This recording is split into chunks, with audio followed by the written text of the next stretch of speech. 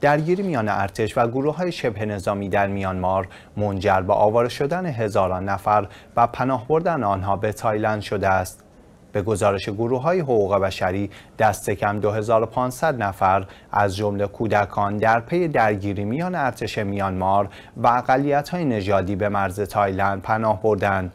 برخی از این پناهجویان پس از درگیری چند روز گذشته میان اتحاد ملی کارین و ارتش میانمار به شهر مائساد در تایلند متواری شدند.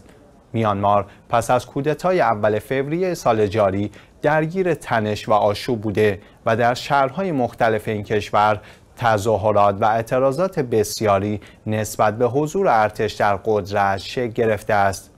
یک مقام منتصب به کمیته حقوق بشری و فعال در زمینه امور پناهجویان معتقد است که 2503 نفر در مرز تایلند مستقر شدند که 545 نفر از آنها را کودکان تشکیل می دهند.